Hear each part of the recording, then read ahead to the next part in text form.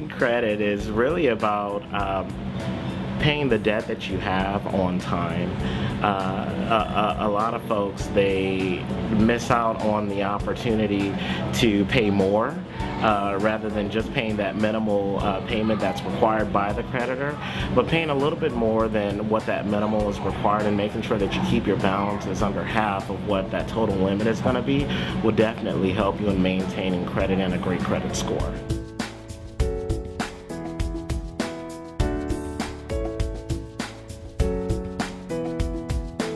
Credit report tells everything and it's so important that you keep that in good standing so that when it does come time for you to show your credit worthiness, uh, you have something to stand on.